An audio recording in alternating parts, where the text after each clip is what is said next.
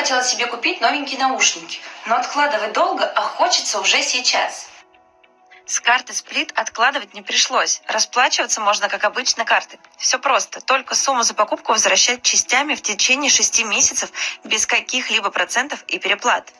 А еще первый платеж только через месяц. Сразу даже платить ничего не нужно. Плюс сейчас можно выиграть 100% кэшбэка за покупку или подписку на Яндекс Плюс на год. Я участвую.